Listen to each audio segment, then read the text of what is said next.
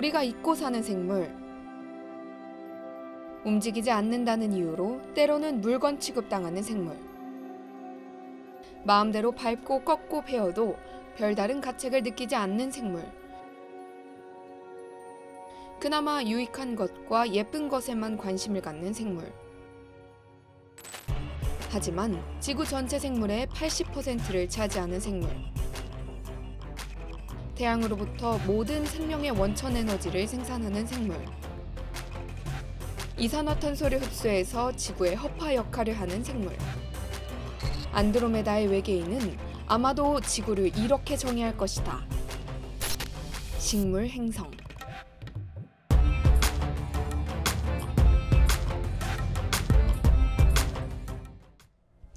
2022년 봄학기 카오스 사이언스의 대주제는 식물입니다. 식물에 관한 강연, 식물에 관한 토크, 식물에 관한 영상, 식물에 관한 이벤트 등이 6월까지 쭉 이어집니다. 이 영상은 식물에 관한 영상 시리즈 식물의 관점 1편입니다. 식물의 관점 시리즈는 식물에 관한 흥미롭고 유익한 내용을 다룰 뿐 아니라 3월 16일부터 개강하는 카오스 강연 식물 행성의 내용을 보다 잘 이해하기 위한 웜업 영상이기도 합니다. 매주 식물의 관점 영상 시리즈를 구독하시면 식물 행성 시리즈를 보다 쉽고 재미있게 즐기실 수 있습니다. 게다가 이 영상들은 식물이 주제인 만큼 녹색입니다. 눈과 마음을 정화해준다는 거죠. 왜 제목이 식물의 관점인지는 짐작하시겠죠? 동물 또는 인간의 관점이 아닌 말 그대로 식물의 눈높이에서 보자는 겁니다. 영화 죽은 시인의 사회에서 키팅 선생의 역할을 맡은 로빈 윌리엄스가 학생들을 교탁에 세우는 이 장면 아시죠?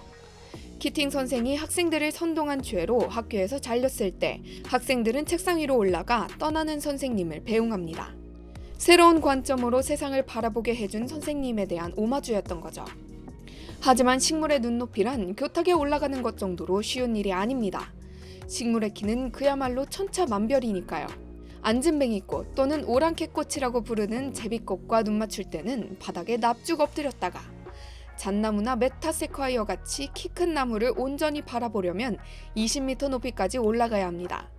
미국 캘리포니아의 세쿼이아 숲에 가면 심지어 100m에 육박하는 나무도 즐비하다고 합니다.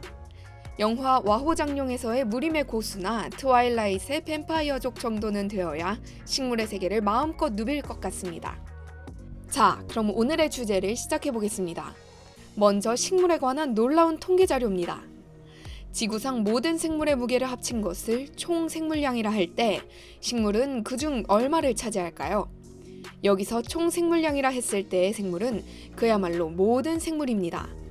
세균이라고 부르는 박테리아, 세균 같기도 하고 진핵생물 같기도 한 고세균, 진핵생물이지만 균류나 식물과 동물에 포함되지 않는 원생생물, 효모, 곰팡이, 버섯을 통칭하는 균류, 우리와 가장 친숙한 식물과 동물, 게다가 생물인지조차 모호한 바이러스까지 싹 포함한 총 생물량입니다. 앞에 intro를 잘 들으신 분이라면 식물이 총 생물량의 80%를 차지한다는 걸 아셨을 겁니다. 좀 놀라셨죠? 그렇게나 많을까 싶을 겁니다. 그래서 또 다른 통계 자료를 준비했습니다. 이번에는 퀴즈로 한번 풀어보겠습니다. 바다는 모든 생명체의 고향입니다. 원래 바다에서 살던 생물이 한참 지나서야 육지로 진출했으니까요. 생명의 40억 년 역사를 24시간으로 단축하면 생명체가 육상으로 진출한 것은 밤 9시가 넘어서입니다. 자, 여기서 문제입니다. 바다에 사는 생물의 총 무게는 총 생물량의 몇 퍼센트 정도일까요? 1. 90%, 2. 70%, 3. 50%, 4. 20%, 5. 1%. 역시 여러분의 예상을 깨는 답일 수 있겠습니다. 답은 5번 1%입니다. 바다에 사는 생물의 총 무게는 총 생물량의 1%에 불과하고 육상 생물이 99%라고 합니다. 육지에 올라오기는 힘들었으나 일단 올라오고 나서는 엄청난 성공을 거두었다고 해야겠습니다. 또한 바다에 사는 식물과 동물의 무게 비율은 4대 1이라고 합니다. 식물이 동물보다 무려 4배, 압도적으로 많다는 얘기죠. 바다의 무슨 식물? 이라고 하겠지만 여기서 식물은 가장 넓은 의미의 식물, 즉 광합성을 하는 생물을 말합니다. 남세균이라고도 부르는 시아노박테리아, 클로렐라나 파레 같은 녹조류 등이 다 포함되겠습니다. 그렇다면 육상에서 식물과 동물의 비율은 어떻게 될까요? 역시 깜짝 놀랄 만한 통계입니다. 식물이 동물보다 무려 200배가 많다고 합니다. 만약 이게 사실이라면 지구상에서 눈에 보이는 생명은 그냥 식물만 있다고 말해도 과언이 아닐 것 같습니다. 에이, 그럴 리가. 라고 하실 분도 있겠지만 지구 총 생물량의 80%가 산림에 있다고 하니 조금은 이해가 갑니다. 산림의 대부분은 나무일 테니까요. 그렇다면 우리 인간이 속한 동물은 총 생물량의 얼마를 차지할까요? 불과 0.4%입니다. 이 표는 총 생물량에서 각 생물군이 차지하는 비율을 보여줍니다. 식물 82%, 박테리아 14%, 균류 2.2%, 고세균 1.3%, 동물 0.4%, 바이러스 0.04%.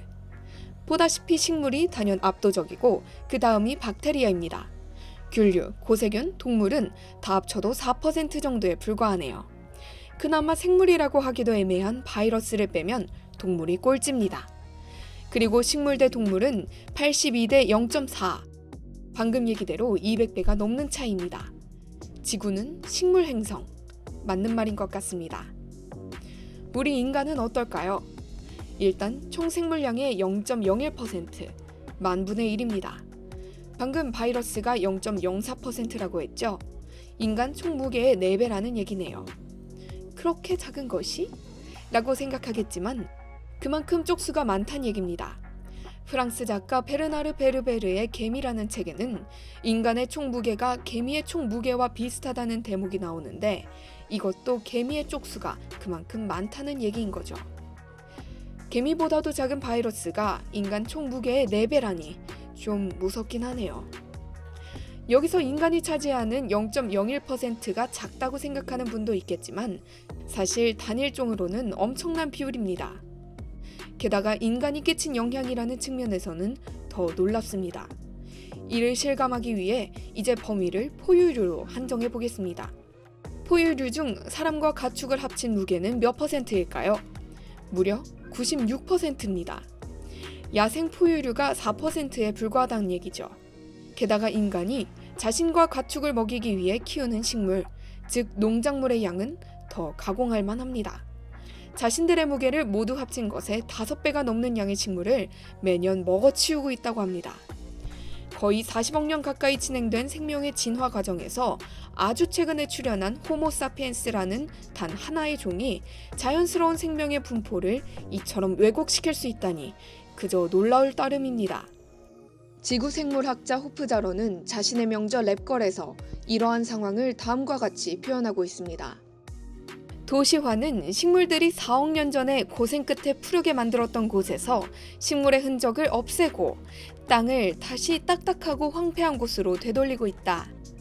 아이러니한 것은 마치 그들의 알량한 죄책감의 작은 표현이기라도 하듯 그들은 콘크리트 철근 벽 속에 마치 동물 우리처럼 작은 화분을 놓고 그곳에 단 한 종의 식물을 가두어 기르고 있다. 세상은 조용히 무너져 내리고 있다. 인류 문명은 4억 년 동안 지속되어 온 생명체를 단 세 가지로, 즉, 식량, 의약품, 목재, 이렇게 세 가지로 분류해 버렸다. 인류 문명이 시작된 이래로 전 세계 나무 수가 약 절반 가까이 감소했다고 하니 그녀가 이렇게 말하는 것도 무리가 아닌 것 같습니다. 그래서 그녀는 무엇보다 세상을 식물의 관점에서 보는 게 중요하다고 말합니다. 그녀는 우리가 원하는 세상에 식물이 존재하는 게 아니라 식물들의 세계에 우리가 존재한다는 생각에 기초한 과학이 필요하다고 역설합니다. 식물은 동물 없이도 살 수 있지만 우리를 포함한 동물은 식물 없이는 살아갈 수가 없으니까요. 식물에 관한 책을 딱 한 권만 추천하라면 저는 주저 없이 호프 자런의 랩걸을 꼽겠습니다. 랩걸은 실험실 여성이라는 뜻으로 과학자로서의 자신의 삶을 담은 자전적 책입니다. 부제가 나무, 과학, 그리고 사랑입니다. 저자의 식물에 대한 애정과 과학에 대한 열정이 고스란히 녹아들어 있습니다. 사람은 식물과 같다. 빛을 향해 자라난다는 의미에서 말이다. 내가 과학을 선택한 것은 마치 빛처럼 과학이 내가 필요로 하는 것을 줄 수 있었기 때문이다.